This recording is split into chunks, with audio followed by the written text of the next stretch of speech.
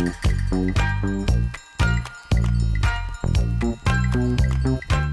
everyone, welcome back to my channel and in today's video I'll show you my crystals and gemstone collection. I hope you will enjoy watching it. Make sure to subscribe if you're new to this channel and if you're coming back, welcome back. I'm very happy to see you again. So yeah, let's get started. This is where I currently keep all of my gemstones.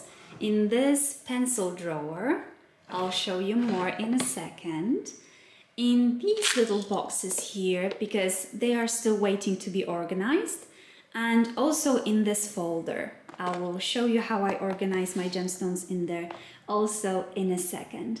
But yeah, I think we will start from the top over here. I have three amethyst crystals like this.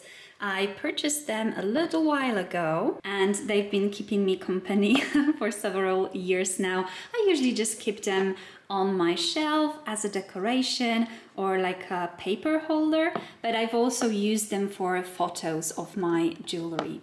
And I really love this labradorite sphere, which I got for my birthday a few years ago from Jarek. I really love all of the colors in here and I also keep it like in, in this little, uh, I don't even know how to call it, like a tiny little dish. and I keep it in there so it prevents it from sliding off because it's actually quite heavy. It wouldn't be fun if it fell on the floor, which it did by the way several times. Okay, now let's have a look inside of this little drawer. So the first drawer is I like to put my gemstones together by the color actually. And here I have purples and pinks and yellow gemstones as well as the clear ones. So let's start from the right. Here are some cherry quartz. I think this is a rhodochrosite, then some rose quartz, and these are beautiful kunzites. And I really love them.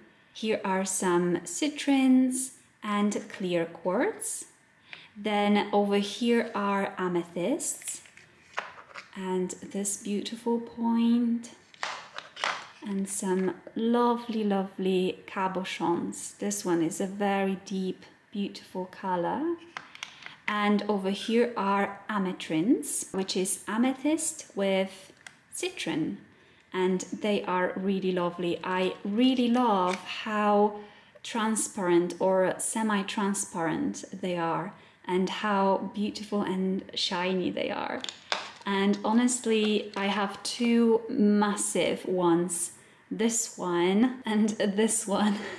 and I've been keeping them for now, but I'm tempted to turn them into like big statement pendants. Do you like big jewelry like this or do you prefer smaller pieces? And over here we have some lovely little amethysts uh, like this and these ones. These are ametrines, beautiful amethyst leaves and also kitty heads. The next drawer is my second favorite and it's all of the green, deep green and blue gemstones. And as you can see from this side, I have a lot of malachite and very, very beautiful ones. They are extremely vibrant and beautiful cabochons keeping them mostly for the earth and water collection, but I'm planning to use more of them during the summer now because they are wonderful summery gemstones. This one is a beautiful azurite malachite or chrysocolla. And over here well, I think you know what this is. This is labradorite. And I think we all love labradorites for their beautiful, flashy, spectacular colors. And each one is completely different. Well, that's true about most of the gemstones. You can never have two exactly same ones. So that's why I really love them. But these are even more special. And over here I've got some Sleeping Beauty turquoise, which I purchased a while ago and I just, I, I had to keep it for a while because honestly it's such a gorgeous gem and very, very special color. And I also have some Larimars. There's a couple of sodalites, beautiful deep color, and honestly, camera does not pick up their true form. You just have to believe me that they are very, very beautiful and deep, deep color. The third drawer is most of my tiny gemstones and also the gemstones that I picked that I was already starting to plan some pieces with them. And over here, here are my turquoise, here and here, some opals and opal doublets. This is aquamarine and these are sapphires. And here are moonstones, which are gorgeous, but it's really hard to pick up their shine on the camera. They all have gorgeous blue shine, but yeah, it's really hard to pick it up on the camera. and the fourth drawer is mostly uh, gemstones that I kept for like autumn and fall season. So over here I have some beautiful jaspers and petrified wood. These are honestly some of my favorite because they look like paintings and like landscapes. So they will be definitely a collection of landscape jewelry absolutely stunning and also these cabochons are excellent quality. I will uh, put the seller on the screen of these because he really deserves more recognition. Absolutely gorgeous. I'm always very happy with them. This one is, I honestly, one of the reasons I bought it is obviously because it's very beautiful, landscape jasper, but I'm going to show you the main reason why I bought it. Here we have some chrysoprase, beautiful minty green color.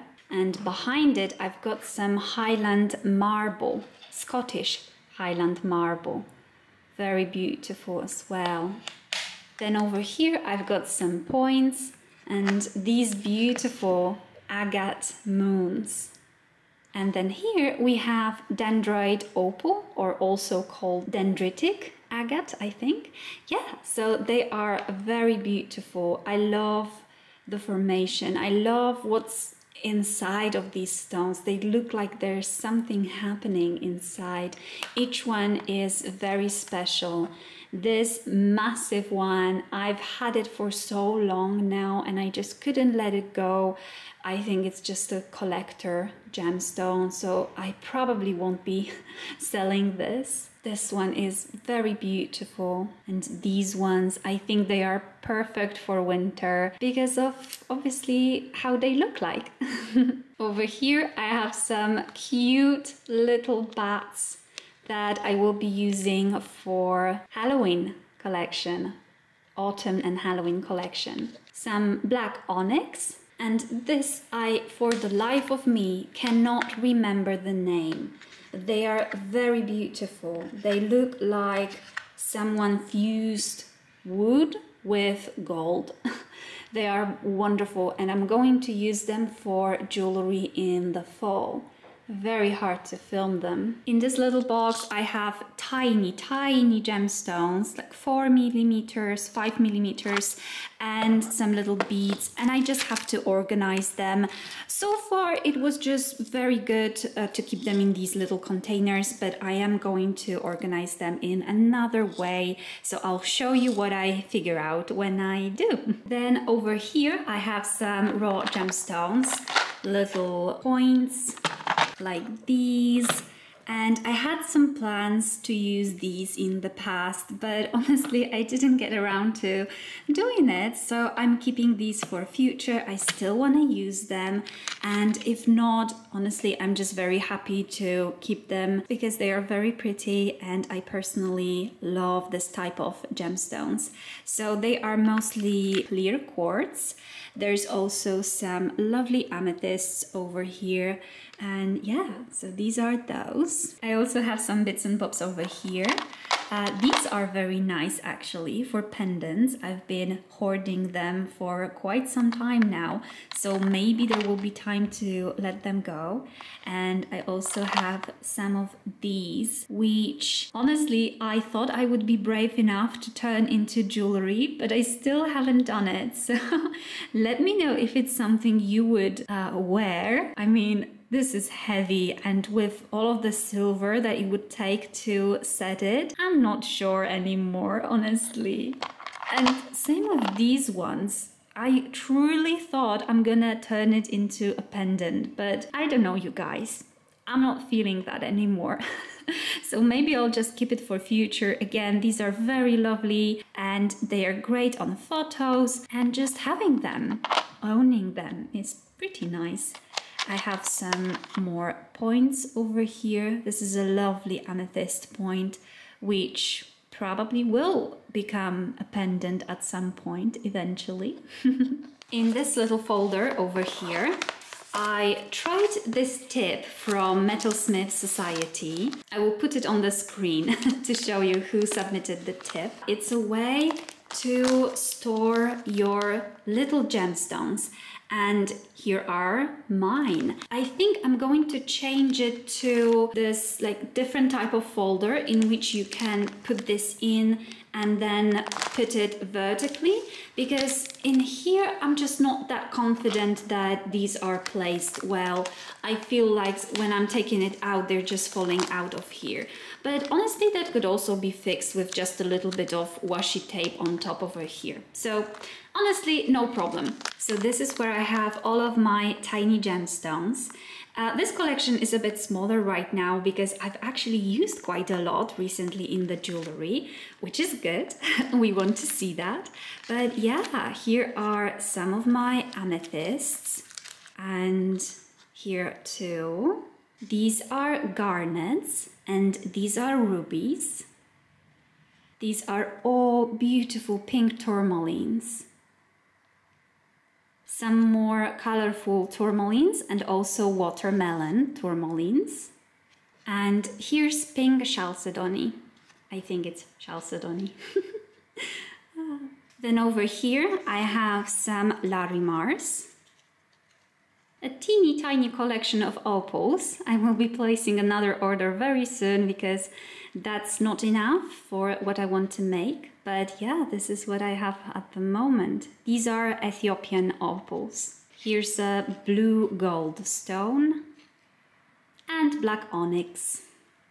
And that's it. These are all of my gemstones at the moment. I don't have a lot, but I think it's a decent collection on the other hand. Thank you so much for watching. I hope you've enjoyed this video. I hope you've enjoyed looking at my crystals, my rocks, my minerals.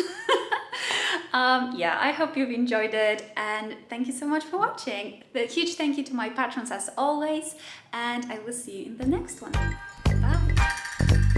Bye!